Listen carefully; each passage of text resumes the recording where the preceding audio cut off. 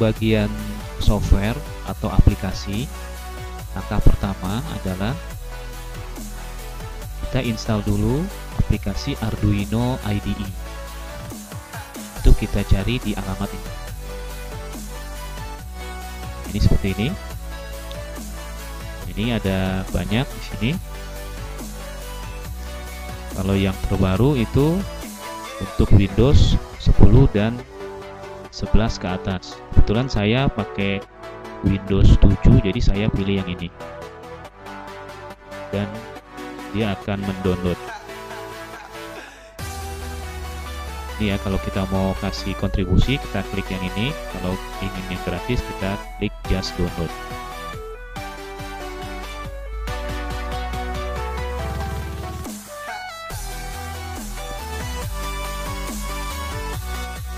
Untuk langkah selanjutnya, kita install Windows Driver ATTini 85.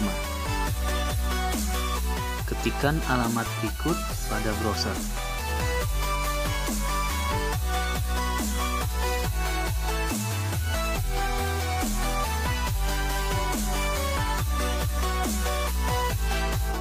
Setelah kita download filenya ini, terus kita ekstrak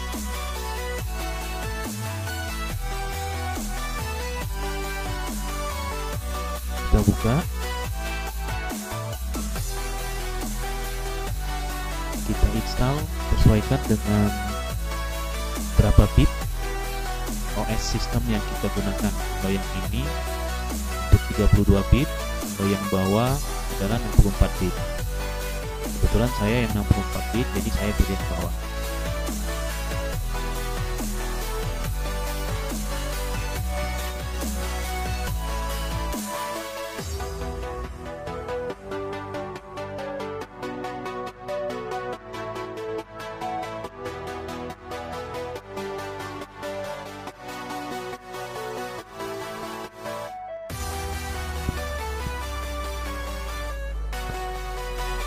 Untuk langkah selanjutnya, kita install board manajernya.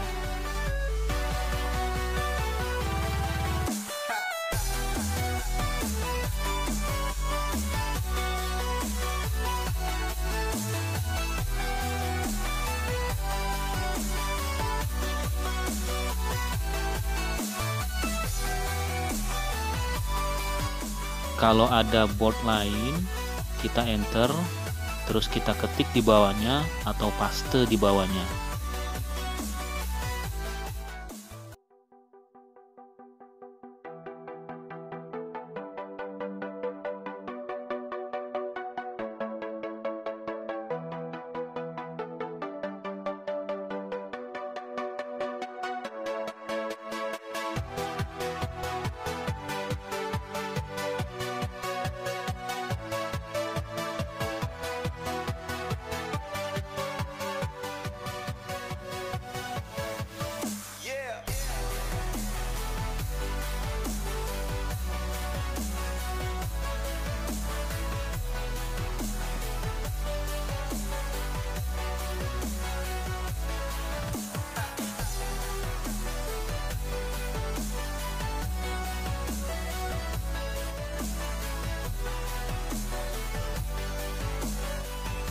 Cek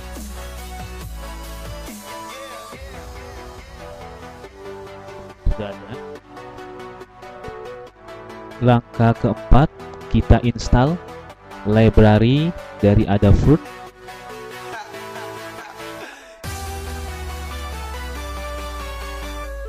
setelah selesai di download ini filenya. Kita ekstrak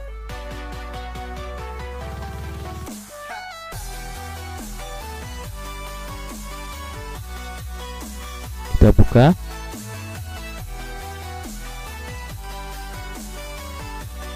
Pilih yang Tricket HID combo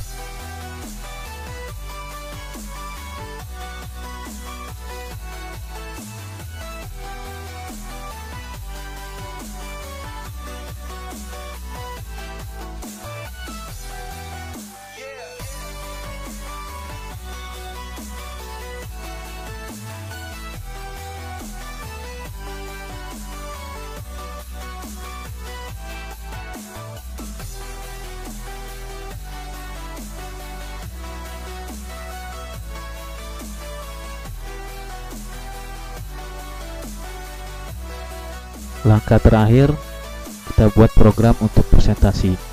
Silakan cek link pada deskripsi program yang sudah saya buat. Ini merupakan program untuk membaca kode dari sebuah remote saat tombol remote tersebut ditekan. Sekarang kita coba compile dan upload ke microcontrolnya atau ke alatnya. Sebelumnya kita pilih tools, kita sesuaikan boardnya, kita pilih DigiSpark yang default 16,5 MHz. Selanjutnya untuk programmernya kita pilih Micronucleus. Terus kita compile.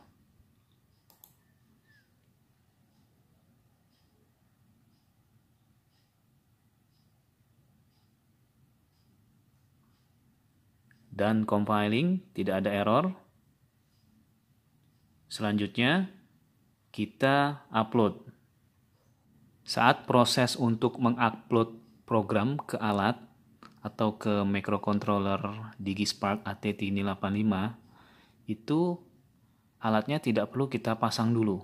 Ini saya lepas nih seperti ini tidak perlu kita sambung ke port USB sebelum ada tulisan di sini untuk menyambungkan alat. Oke. Sekarang kita tekan tombol upload.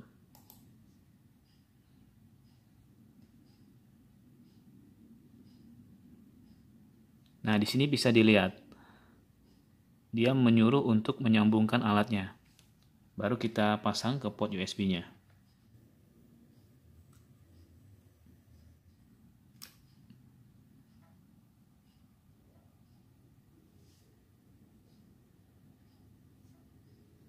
Oke, selesai 100%.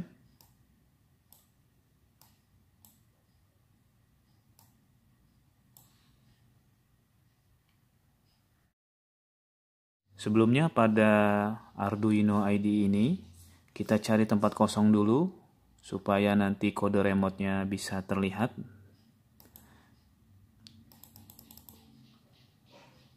Ini seperti ini, misalkan kita klik di sini, tempat kosong.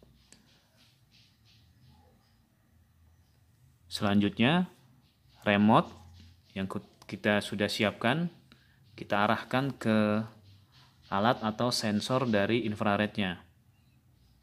Kali ini yang akan saya tes kodenya hanya tiga saja sebagai contoh. Ada power, ada mode, ada silent. Baik, sekarang kita coba untuk menekan tombol power. Kodenya terlihat. Selanjutnya mode. Kodenya terlihat. Kodenya terlihat. Kurang lebih seperti itu. Untuk kode dari tombol lainnya itu bisa kita inisialisasikan. Ini merupakan kode untuk mengontrol presentasinya. Kebetulan nanti presentasinya kita buat menggunakan Microsoft PowerPoint. Jadi ada dua kode nanti di deskripsi yang bisa teman-teman gunakan. Yang pertama tadi untuk membaca tombol dari remote. Yang kedua adalah kode untuk kontrol presentasinya. Sebenarnya dari kode untuk mengontrol presentasi ini, kita juga bisa membaca tombol dari remote. Tidak perlu kode yang pertama. Dengan cara perhatikan di sini ada nilai debug yaitu 0 ini kita rubah menjadi angka 1 seperti ini. Terus kita upload. Nah nanti kita coba tekan tombol dan akan terlihat juga nilai dari e, nilai dari tombol yang ditekan pada remote. Saat kita ubah menjadi 0 itu untuk mengontrol presentasinya jadi terserah teman-teman mau pilih yang mana, silakan tinggal download di link deskripsi. Untuk menambah apa aja yang akan dikontrol melalui remote, itu teman-teman bisa tambah di sini kodenya, define apa di sini, tambahkan kode dari remote atau tombol apa yang akan ditekan dan di bawah sini juga ditambah. Nah, di sini ya, di bawah sini.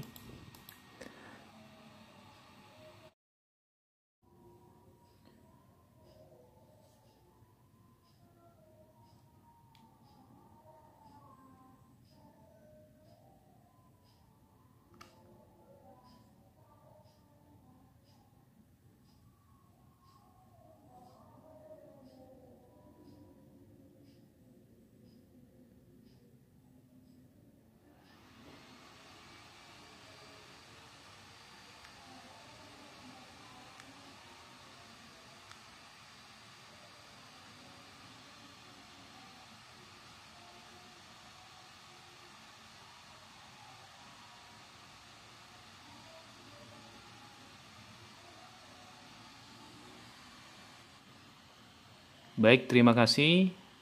Semoga dapat dipahami dan semoga bermanfaat. Assalamualaikum warahmatullahi wabarakatuh.